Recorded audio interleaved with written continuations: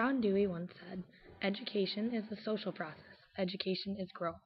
Education is not a preparation for life. Education is life itself.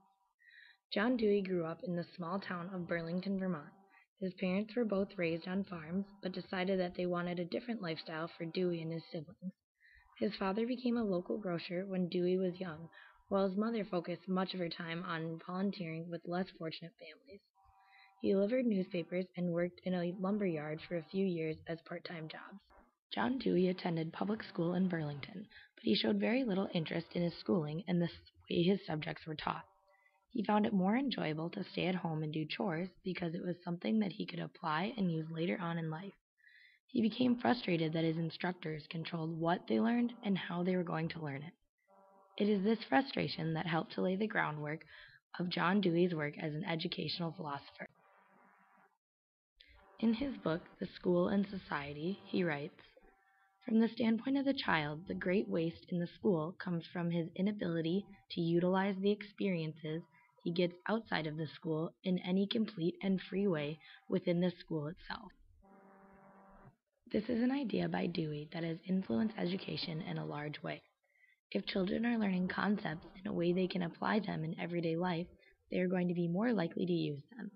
They are also more likely to be engaged, remember, and use those basics as a stepping stone for confidence in further learning in any particular subject.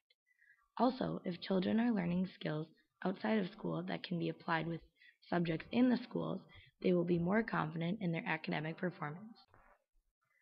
A good example of this is learning math. Having a kitchen area in your classroom and teaching children how to bake a cake, for example, can help them learn their math skills easily and give them the tools to apply it at home. When making a cake, you need to be able to measure out the amount of ingredients you need. You may need to convert measurements, add ingredients, measure baking time, and deal with fractions. When a student realizes they can use something they learned in school or at home, such as baking a cake, in the real world, they will be more willing and excited to learn about such subjects as math. This is a belief John Dewey has and a message he spread throughout his career. John Dewey also led the progressive education movement. This movement had two important concepts respect for diversity and the development of critical, socially engaged intelligence. This progressive movement is not to be confused with the Progressive Education Association, which Dewey refused to be a part of in 1919 because he believed the association was nowhere near being progressive. He did, however, accept the presidency of the association in 1928 and used that platform to speak his beliefs. His belief as written in selections of Dewey on education state that we should be able to do the following. Have respect for individual capacities, interests, and experience, enough external freedom and informality at least to enable the teachers to become acquainted with children as they really are, respect for self initiated and self conducting learning, respect for activities such as the stimulus center of learning, and perhaps above all, belief in social contact, communication, and cooperation upon a normal human plane. Albert Bandura is a theorist that relates to Dewey's belief on social interaction and learning. Dewey believes that it, that it is important for students to have the opportunity to be social and learn from other children. Albert Bandura's attention, retention, reproduction, and motivation model can show how students can learn from one another. Bandura believes that first the student must be attentive to the subject. You must be able to remember what you have learned, reproduce that behavior, and you must be motivated either by past reinforcement, promise reinforcements, or vicarious reinforcements to continue this behavior. Bandura's famous Bobo doll experiment were experiments in which children are shown an adult modeling hitting the doll. When left alone with it, the children repeated the behavior. This social interaction is what Dewey believes is important for children. When children are using manners, for example, at snack time, other children can pick up on those cues and will retain, reproduce, and be motivated to use those in the future. That is why Dewey believes socialization is so important, because children can not only learn important school subjects, but also social norms. John Dewey said, since learning is something that the pupil has to do himself and for himself, the initiative lies with the learner. The teacher is a guide and director. He steers the boat, but the energy that propels it must come from those who are learning. Dewey believes there needs to be a certain balance between the teacher as a guide and the student as a learner. It is easy for any child to learn about something that they can be actively involved in or have an interest in. If children are experiencing these things hands on and in a way they can explore, they will more easily retain the information and be able to apply it in life. He believes in the theory of experience. You first need to understand how the students have experiences that they do, and then teach to that. There needs to be continuity and interaction. Continuity means that every person is sensitive to every experience, whether they gain a positive or negative knowledge. Interaction is when past experiences that a person has interacted with the present situation, which helps create the person's present experience. For example, if children learn early on that biology is fun to learn about, then in the future the subject will be easier to learn, retain, and the child will be more open to learning about it.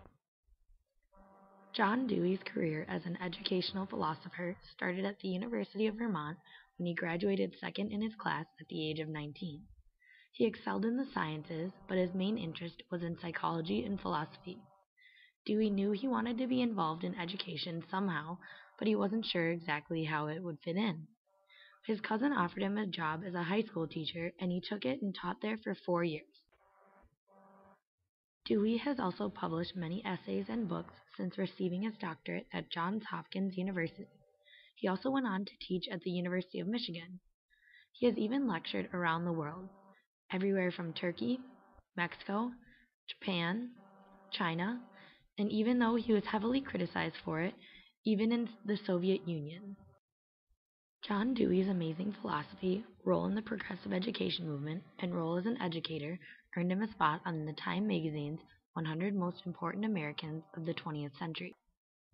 John Dewey was not only one of the most important Americans in the 20th century, he was one of the most important influences on early childhood education today as well. Dewey encouraged children to be exactly what they are children. Through their play and social interactions, he believed they could develop to their full potential. Dewey also believed it was important to keep the child at the center of the school. Like what was mentioned earlier, instructors and educators were the main focus of school in Dewey's childhood. As an educational philosopher and leader of the progressive education movement, he pushed for the more child-centered schooling that you see today across the country. As you go on in your life as future educators, parents, and adults, keep Dewey's ideals in mind. As a teacher, be a guide for a child's learning instead of an instructor. Encourage your children and students to be active learners. Treat your school as a community. Let kids be kids. Let them socialize, explore, and learn. It is more important to develop the moral judgment of a child than have them memorize the knowledge. Help your child and student learn through experience and apply school subjects to the world.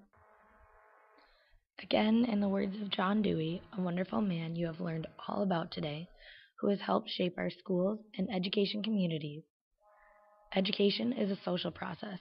Education is growth. Education is not a preparation for life. Education is life itself.